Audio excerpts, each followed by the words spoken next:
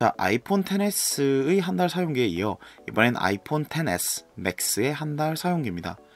왜 이름이 맥스인가 한번 생각을 해봤는데 말 그대로 max한 사이즈의 max한 녀석 인기 또한 max했죠. 아이폰 10s에 비해 훨씬 더 관심도가 높았습니다. 이때까지 나왔던 아이폰 중에 가장 화면이 크고 가장 비싸고 가장 무거웠으니까요. 그래서 맥스인가? 자, 일단 한 달 사용하면서 느낀 점 좋았던 것부터 한번 시작해 볼게요.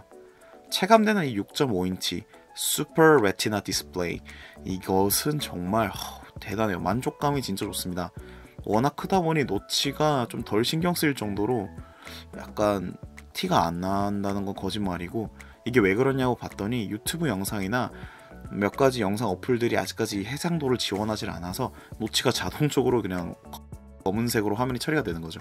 그래서 좀 신경이 덜 쓰였고 또 게임을 할 때 제가 배틀그라운드 모바일을 가끔 가끔 하는데 뭐 게임을 즐겨 하지 않지만 너무 체감이 다른 거예요. 그래서 아, 게임을 좀 더 뭐 이것저것 해봐야 되나 그런 생각이 들 정도로 이 전반적인 화면이 주는 만족감은 대단했습니다. 맥스 인정. 스피커 출력 또한 큰 화면과 조화로운 buff를 이루었고요.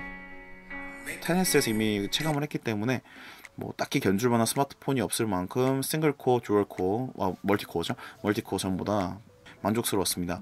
카메라 또한 센서가 바뀌어서 훨씬 더 좋은 결과물을 줬고요. 자 이제 칭찬을 다 했으니까 또 한번 까보겠습니다. 첫 번째 무게를 너무 생각하지 않는 디자인이에요. 노트 9 201g, 아이폰 10s 맥스 209g입니다. 메이저한 스마트폰 중에 가장 무겁고요. 가벼운 스마트폰을 원하셨다면 이 녀석은 일단 배제하고 가야 될 것 같습니다. 야 그렇게 화면 크고 거대한데 무거울 수도 있지 라고 하시겠지만 크지만 가볍게 만들 수도 있다고 생각하거든요 저는.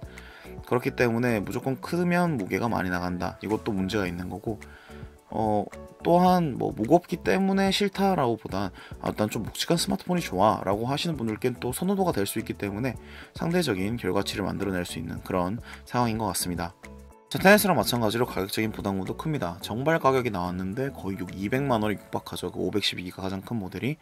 아예 positioning을 아이패드 미니, 단종된 아이패드 미니 이상의 역할을 할 수 있는 뭔가 태블릿이 아니지만 스마트폰과의 그 애매한 경계 그런 식으로 마케팅을 했더라면 오히려 사람들이 인식할 때 아 걔는 원래 그런 애야 라고 생각을 할 텐데 그냥 ten S의 큰 버전 이런 느낌으로 어필을 하다 보니 어, 이 돈 주고 이걸 사야 되나 라는 생각이 없지 않아 들게 됩니다. 거기다가 뭐 노트를 따라잡을 생각으로 애플 펜슬을 사용할 수 있게 해줬거나 그러면 209g이라는 무게에도 불구하고 아마 기쁘게 샀을 것 같은데 또 그런 것도 아니란 말이죠.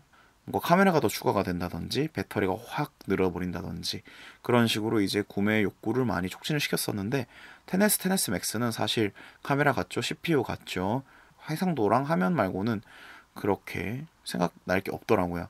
그런 것들 때문에 어, 구매하는 데 있어서 맥스를 꼭 사야 된다는 느낌이 조금 덜해지는 그런 부분이 아닌가 싶습니다. 자, 이렇게 테네스 맥스도 한 달 동안 사용해 보면서 솔직하게 느꼈던 부분을 정리를 해봤는데요. 공감하시는 부분도 있고 굳이 그거를 그렇게 얘기해야 되나라고 하시는 부분도 있을 건데 제 개인적인 주관적인 리뷰라는 거 어, 다시 한번 말씀드립니다. 재미있으셨다면 좋아요 그리고 구독하기 꼭 눌러주시고요. 아직 구독하기 안 누르셨다면 오른쪽 하단에 구독 버튼 꼭 한번 눌러주세요. 그럼 다음 리뷰에서 또 뵐게요.